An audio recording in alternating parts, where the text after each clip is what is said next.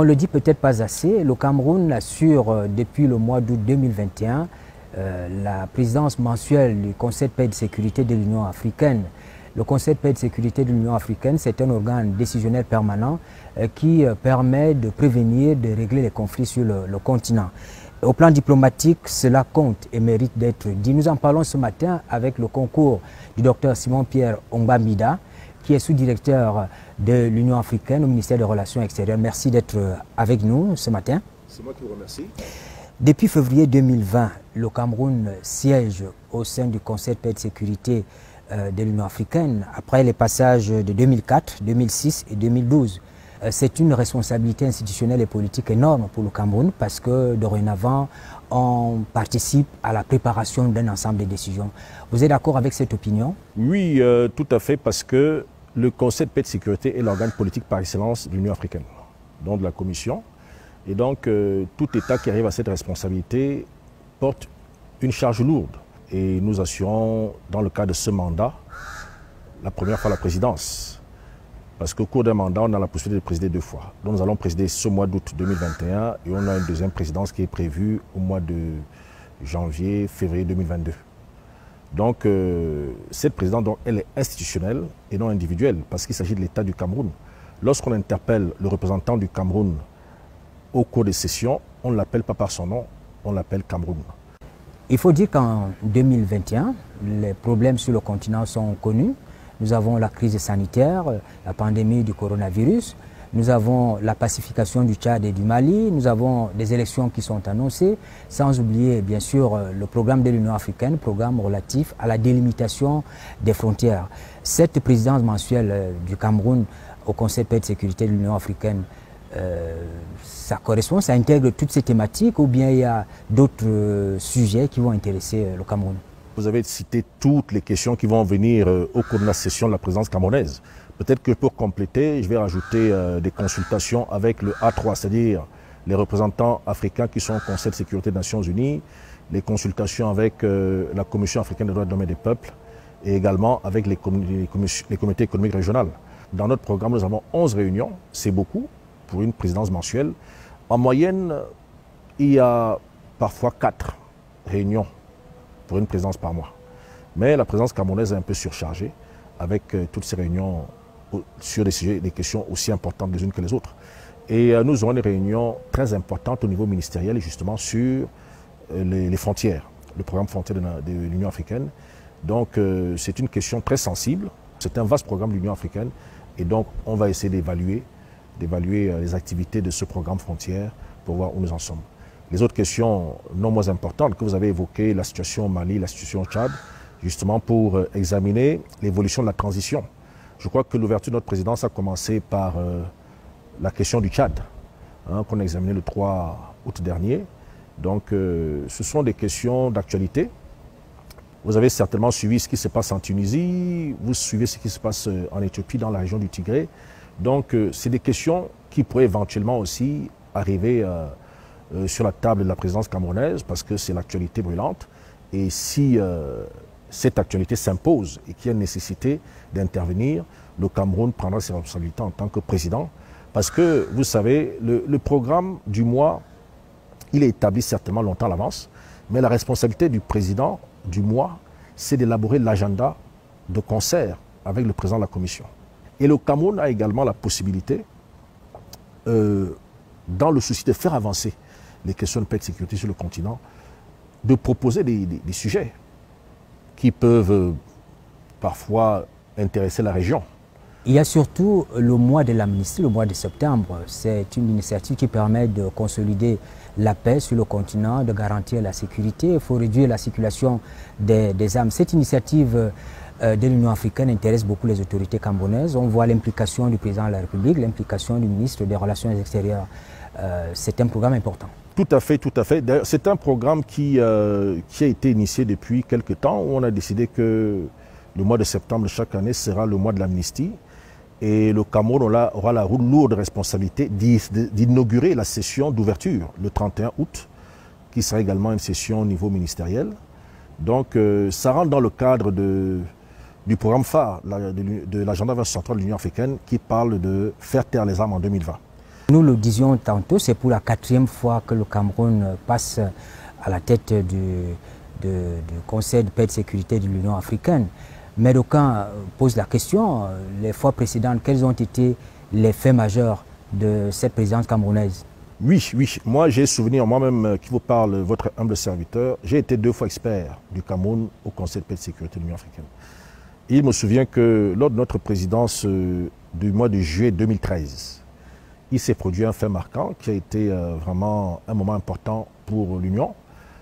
Vous vous souvenez certainement que euh, au mois de juillet 2013, le président Mohamed Morsi d'Égypte avait été renversé lors d'une insurrection populaire, lui qui avait été démocratiquement élu. Alors il était question pour le Conseil de prendre une décision visant à sanctionner l'Égypte. Et vous n'êtes pas sans savoir que l'Égypte, c'est un gros contributeur de l'Union africaine. Non seulement un gros contributeur, mais c'est un pays important sur le continent. L'Égypte, ce n'est pas n'importe qui et il n'était pas facile de décider des sanctions contre l'Égypte pour les suspendre de toutes les activités de l'Union africaine. Donc, euh, ils ont usé de tous les moyens de pression, d'influence, pour que la décision qui était normalement attendue soit prise. Et je voudrais indiquer que pour que ces décisions soient prises, il a fallu préalablement que le, texte, la charte africaine sur la gouvernance la démocratie entre en vigueur, la CADEJ, la fameuse CADEJ. Donc cette charte était entrée en vigueur en 2012.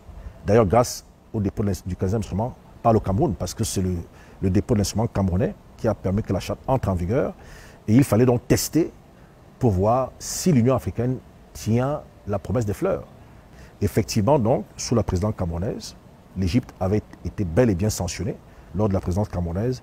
Il a donc fallu qu'il y ait une élection organisée en bonne et due forme, dans la transparence, euh, hein, euh, l'égalité des chances pour tous, pour qu'elle soit réintégrée. Donc c'est quelque chose qui a marqué notre présidence parce que les médias du monde entier étaient là, attendaient la fin de cette session extraordinaire. Et donc euh, le Cameroun n'a pas failli. Donc c'est quelque chose à marquer d'une pierre blanche de la présidence camerounaise dont je puis me souvenir. Bon, il y a eu d'autres présidences avant, évidemment. Elles ne sont pas négligées, mais c'est le fait le plus important que je pourrais euh, relever. L'acte créant le Conseil de paix et de sécurité euh, de l'Union africaine remonte à 2002, à Duban, en Afrique du Sud, mais il devient opérationnel en 2004. Et d'après ce que nous lisons, il constitue le pilier central de l'architecture africaine de paix et de sécurité, qui est le cadre par excellence pour la promotion de la paix, la sécurité, la stabilité sur le continent. Vous avez commencé à évoquer un tout petit peu euh, la structuration de, cet organe. Son mode opératoire, c'est quoi? Bon, alors le Conseil, comme je disais, c'est 15 États membres qui sont élus par le Conseil exécutif. Et cette élection est entraînée par les chefs d'État et de gouvernement lors de leur session. Et donc, euh, nous sommes organisés dans le cadre du Conseil par région. L'Union africaine reconnaît cinq régions géographiques l'Afrique du Nord qui est représentée par deux États, l'Afrique euh, australe qui est représentée par trois États, l'Afrique de l'Est par trois États, l'Afrique centrale par trois États et l'Afrique de l'Ouest qui est la région la plus importante qui à elle seule est représentée par quatre pays. Maintenant, nous avons euh, ce qu'on appelle euh, des structures qui accompagnent le, Conseil. Ah, il y a le comité d'experts, il y a également le, comité d'état-major c'est-à-dire les, attachés militaires et autres conseillers militaires des États membres qui doivent donner leur opinion sur des questions justement militaires et stratégiques et tactiques, donc qui également regroupe les militaires, les conseillers militaires des 15 États membres du Conseil.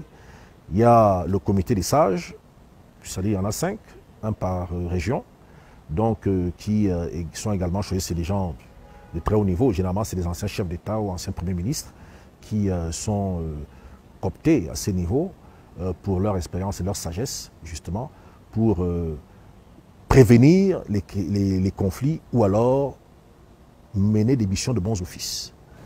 Dans le dispositif actuel, le Conseil de paix et de sécurité de l'Union africaine avait prévu le Fonds pour la paix. On se rappelle qu'en 2016, l'ancien président de la BAD, euh, Dr Donald Kaberuka, avait occupé le poste de haut responsable de, ce fonds.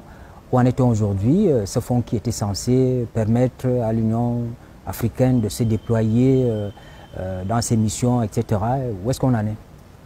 Alors, je voudrais d'abord situer que le Fonds pour la paix a été créé en 1993. au temps de l'OUA, donc vous voyez, ça remonte à loin. Et euh, il a été remis au goût du jour en 2016 à la faveur de l'adoption de la taxe de 0,2% sur les importations éligibles hors Afrique, qui permet de financer l'Union africaine. Et au cours de la session que vous évoquez, où M. Kaberuka a été euh, désigné au représentant de l'Union africaine pour euh, le fonds, donc les chefs d'État avaient décidé de doter le fonds pour la paix d'un montant de 400 millions de dollars. Et à ce jour, on estime que euh, les, États, les États membres de l'Union africaine ont contribué à hauteur de 55,9 millions de dollars. Très souvent, ce qui est reproché euh, à l'organisation panafricaine, c'est euh, les contributions statutaires des États membres. Alors, le Cameroun vis-à-vis de ce fonds pour la paix? Le Cameroun contribue énormément au fonds pour la paix. Hein, je crois l'année dernière, déjà, le chef de l'État a décidé d'une dotation de 500 millions de francs CFA. Et cette année encore, je crois qu'une autre décision du chef de l'État a été prise pour que la contribution du Cameroun euh, pour le Fonds de la paix soit assurée. Le Conseil de paix et de sécurité de euh, l'Union africaine, vous l'avez rappelé, il n'y a pas de membre permanent comme ce qui se passe euh, à l'ONU, mais le fonctionnement est pratiquement le même, les objectifs sont à peu près les mêmes. Maintenant, les rapports entre les deux entités, les rapports avec l'Union européenne aussi le Conseil de paix et de sécurité est l'un des organes qui fonctionne le mieux à l'Union africaine et qui obtient des résultats probants parce que c'est des décisions qui sont prises par les Africains eux-mêmes. Aujourd'hui, on ne peut pas prendre une décision concernant la paix et la sécurité en Afrique sans qu'elle soit qu'elle ait été préalablement prise par l'Union africaine, par le Conseil de paix et de sécurité. Le Conseil de sécurité des Nations Unies ne fait qu'entériner la décision des Africains. Dans le Fonds pour la paix, je voudrais également signaler que deux partenaires, c'est dans le Conseil d'administration, l'Union européenne et euh, les Nations Unies. Mesdames, Messieurs, nous parlions de la présidence mensuelle du Cameroun à la tête du Conseil de paix et de sécurité de l'Union africaine. Cela a commencé au début de ce mois d'août 2021. Nous voulions comprendre un peu euh, ce que représente euh, cette place stratégique au plan diplomatique, cette place qui met le Cameroun euh, devant une lourde responsabilité institutionnelle et politique. pour en parler, nous avions comme invité sur le plateau de politique Dr Simon-Pierre Ongba Mbida, sous-directeur de l'Union africaine au ministère des Relations extérieures. Merci de nous avoir suivis. Bonne suite des programmes sur la CRTV.